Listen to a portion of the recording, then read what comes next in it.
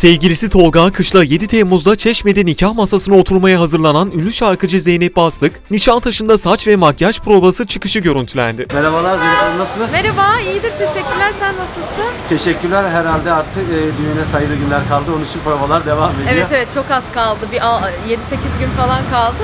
Geldik bir saç makyaj provası yaptık. Dönüyorum şimdi.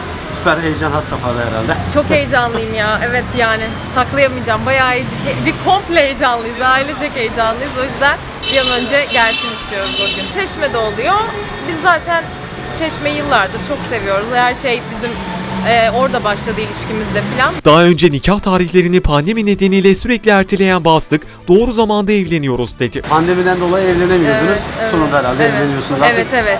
Yani ertelemek zorunda kaldık. İyi ki de erteledik. Zaten o şartlarda çok mümkün değildi. Şimdi biraz daha herkesin daha da aşılandığı, e, daha da normalleşmeye başladığımız bir dönemde olması hepimizin içine sinen şeklinde oluyor. O yüzden iyiyiz yani. Doğru zamanda oluyor. Yakın arkadaşlar ve sadece aile mi olacak yoksa? Evet evet öyle. Öyle. Yakın arkadaşlar ve aile. Yani çok da kalabalık bir şey çeviremiyoruz. Zaten gerek de yok.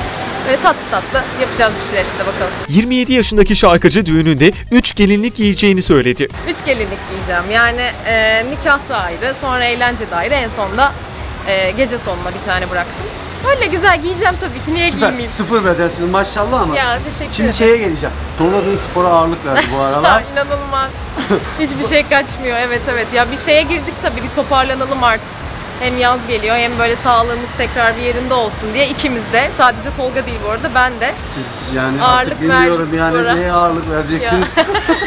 teşekkür ederim. İyiyiz ya güzel böyle fit olalım, güzel olalım, sağlıklı görünelim istiyoruz. O yüzden daha daha çok sağlık için yaptığımız bir şey tabii ama fizikken de e, fiziksel olarak da güzel görünelim istiyoruz yani. Zeynep Bastık kendi düğününde sahneye çıkacağını da sözlerine ekledi. Siz mesela kendi düğününüzde şarkı söyleyecek misiniz? Ya ben kesin söylerim ya. Değil mi? ben Ben- duramam. Söylerim söylerim. Ama sizin düğününüzde de bayağı sanatçı olacağı için sıra gelir umarım size. Gelir gelir ya. Biz o bir, bir şekilde çözeceğiz o meseleyi artık halledeceğiz. Özellikle böyle arkadaşınızı ikna ettiğiniz birisi var mı? Sahnede bu olacak var mı şu anda bir isim? E, ya yo ya bizimkiler zaten e, okey hazır. Yakın arkadaşlarımız, şarkıcı arkadaşlarımız, sanatçı arkadaşlarımız orada olacak. En Oğuzhan yakınlarımız. Bey, Edis Bey falan. Tabii tabii aynen. Bizim tayfa olarak biz böyle hep beraber düetler döner diye düşünüyorum inşallah. Bakalım. İnşallah tekrardan hayırlı olsun. Çok teşekkür efendim. ederim. Fırat'cığım. Öpüyorum seni. Kendine iyi bak. Bay bay. Bu kız bir afet bir afet